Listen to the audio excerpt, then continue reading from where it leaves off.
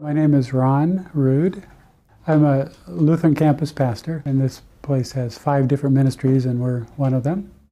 I guess it was my sophomore year that I started to get interested in theology and Bible. I actually took a religious studies course and got a D in it, but uh, I was kind of interested in what I was learning, so I took more and more and just got more and more interested.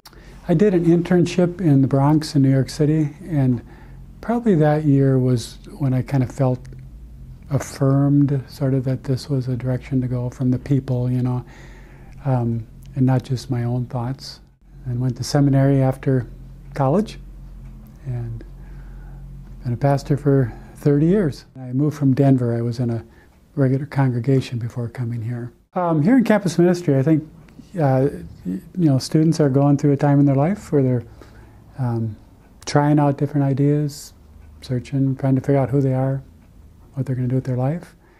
Sort of walking with students during that time, um, helping them uh, interconnect what they learn in the classroom with their faith, um, providing a safe place where we can discuss issues, either on a personal level or in a group setting.